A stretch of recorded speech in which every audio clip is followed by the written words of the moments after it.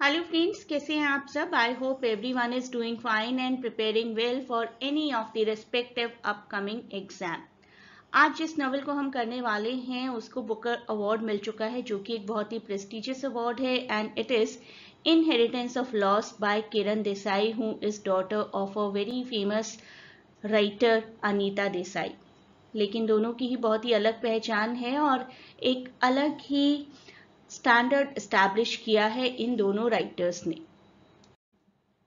All दो ये novel बहुत इंपॉर्टेंट है, किसी भी कॉम्पिटिटिव एग्ज़ाम के लिए at present I am doing it for L D C P R T exam of Jharkhand और आप उसके लिए एक टेलीग्राम चैनल ज्वाइन कर सकते हैं, जहाँ पर आपको इंपॉर्टेंट इन्फॉर्मेशन अपडेट्स मिलते रहेंगे। And these are the available playlists also अभी बहुत ज़्यादा वीडियोस नहीं हैं। प्लेलिस्ट्स में almost twenty five to thirty percent है, लेकिन आप अपनी प्रेपरेशन शुरू कर सकते हैं। नॉवल ड्रामा ऐसे शॉर्ट स्टोरी लेकिन हिस्ट्री का वीडियो कंप्लीट है पूरा। जोसेफ एलिस के हिस्टोरिकल चैप्टर्स इनके भी वीडियोस पूरे तरीके से कंप्लीट हैं। तो और कुछ नहीं तो यहाँ से आप अपनी शुरुआत कर दीजिए। In the meanwhile you will keep getting updates in these playlist also अभी भी 25 परसेंट वीडियोज़ हैं। इनहेरिटेंस ऑफ़ लॉस के बारे में जानते हैं थोड़ा सा। सेकेंड नॉवल है by Indian author Kiran Desai. First कौन सा था, उसकी भी हम बात करेंगे, लेकिन ये सेकेंड नॉवल है, जो कि 2006 में पब्लिश हुआ था। बहुत ज़्यादा पुराना नॉवल नहीं बहुत नया भी नहीं है, बहुत पुराना भी नहीं है। बुकर प्राइज जीता था इसने। बुकर प्राइज बहुत ही प्रेस्टिजियस प्राइज माना जाता है। If you got it that means you are a very established actor और भी बहुत से अवार्ड्स जीते हैं, जैसे कि the National Book Critic Circle fiction award and Vodafone Crossword Book Award तो ये सभी कुछ आप याद रखिए, ये भी आ सकता है आपको एग्ज़ाम में, कौन से ईयर में, कौन सा award and all that author का भी इंट्रोडक्शन देखिए बॉर्न सितंबर थ्री 1971 और इनका नोटेबल वर्क ही यही है ऑल दो हम इनके फ़र्स्ट वर्क के बारे में भी बात करेंगे, हो सकता है आपको एग्ज़ाम में आ जाए कि which was the first novel book prize national book critic circle award ये इनके मेजर अवार्ड्स हैं। Hullabaloo in the Guava Orchard. That was the first novel by Desai, published in 1998 और इस नॉवल की तो हम आज बात करेंगे ही। चलिए बात करते हैं अपने नॉवल की। इट वॉज़ पब्लिश्ड इन 2006 याद रखिएगा। सेटिंग का टाइम पीरियड भी याद रखिएगा। सेटिंग में इंडिया इंग्लैंड और यूनाइटेड स्टेट्स दिखाया गया है। मेजर कैरेक्टर में है। कैरेक्टर्स में हैं जज जेमूबाई पटेल उनकी ग्रैंड डॉटर साई और एक कुक हूँ इज़ फादर ऑफ़ बीजू तो बीजू भी हमारा एक मेन कैरेक्टर हुआ। तो ये चार मेजर कैरेक्टर्स हैं हमारे। प्लॉट बिल्कुल नॉन लीनियर है हमारा। ऐसा नहीं है कि जहाँ शुरू होता है उसके आगे आगे आगे की कहानी बनती है। कुछ फ्लैशबैक्स हैं। सबकी आइडेंटिटी और सबकी आइसोलेशन हमें उन्हीं फ्लैशबैक्स के थ्रू जानने को मिलते हैं। शुरुआत में एक रॉबरी होती है। बीजू की लाइफ भी हमें दिखाई गई है as an undocumented immigrant in United States theme की अगर बात करें तो कॉलोनियलिज्म कॉलोनियलिज्म का टाइम पीरियड भी दिखाया गया है। जज के पॉइंट ऑफ़ व्यू से उन्होंने 1939 का फ्लैशबैक हमें दिखाया है। सबकी आइडेंटिटी स्ट्रगल है और कल्चरल डिस्प्लेसमेंट की बात भी है। Specifically when we see Biju.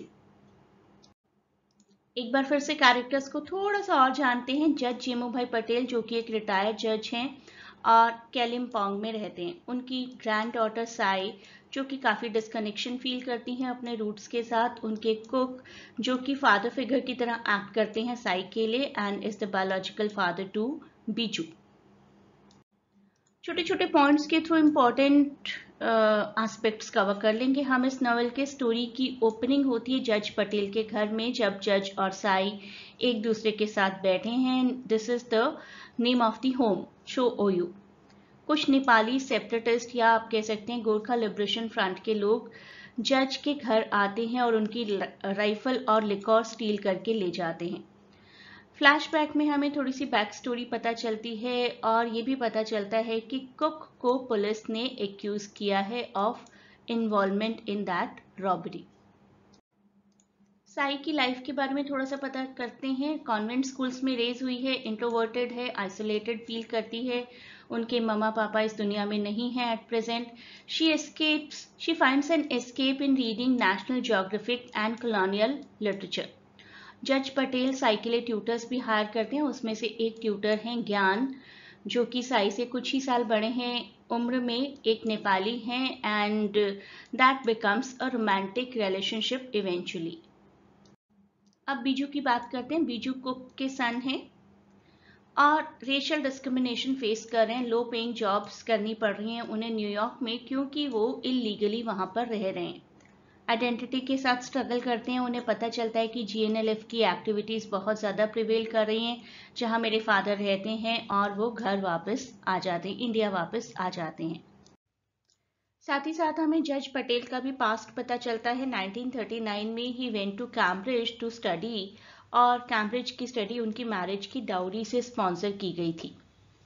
वो भी डिस्क्रिमिनेशन फेस करते हैं, क्योंकि किसी और कंट्री में जाकर एडजस्ट होना is not that easy as it seems isolation उन्हें भी फील होता है और उनका अब्यूजिव बिहेवियर भी है अपनी वाइफ निमी के लिए, जो कि एक इंटरनल कॉन्फ्लिक्ट शो करता है with Indian culture Indian culture में this is considered to be quite normal, at least back in that point of time, although nothing is normal if someone is abusing someone.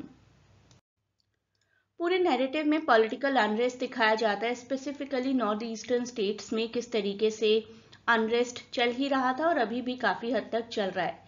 ज्ञान इसी unrest के चलते GNLF join कर लेते हैं और उनको गिल्ट भी होता है for his involvement in a robbery जिसकी वजह से उनके और साई के बीच में एक वैली एक गैप आ जाता है।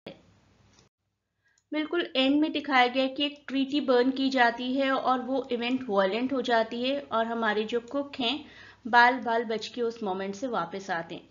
बीजू जो कि कुक के बेटे हैं, वो वापस आ जाते हैं इंडिया लेकिन उन्हें हार्डशिप्स काफ़ी फेस करनी पड़ती हैं including robbery by GNLF members emotional reunion आखिरकार हो ही जाता है कुक और बीजू का, और इट सिग्निफाइज कि शायद फ्यूचर में सिचुएशन बेटर हो सकती है। बहुत ही मुश्किल से बीजू वापस आते हैं और आ, कुछ लोग जो भी वो सामान लेकर आए थे उसको रॉब करके चले जाते हैं।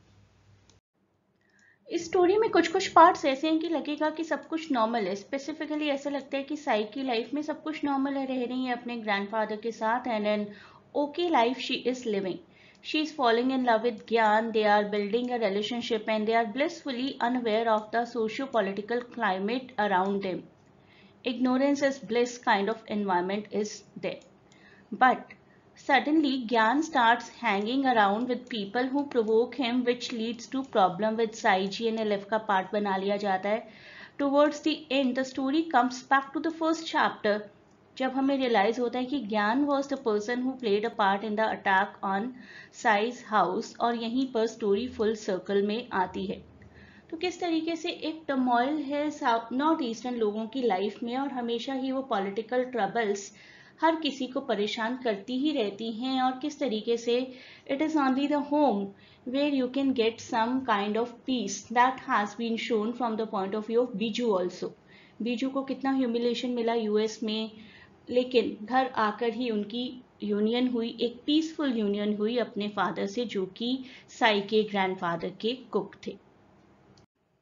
अब इस क्वेश्चन का आंसर करिए। कमेंट्स में मुझे बताइए what motivates Biju to return to India his father's health GNLF activities in Kalimpong job offer a family wedding answer मुझे बताइए। कमेंट्स में आपको जो भी ऑप्शन लगता है ए बी सी और D let me remind you about this channel once again आप इस चैनल को ज्वाइन करिए। इनिशियली आपको डिटेल्स मिलती रहेंगी अपने सिलेबस की और जो भी वीडियोस अपलोड किए जाएँगे आपके सिलेबस से रिलेटेड जो भी प्लेलिस्ट्स होंगी, उनकी भी इंफॉर्मेशन आपको मिलती रहेंगी। तो join this channel and you will really be benefit and a huge good luck for all of you from my side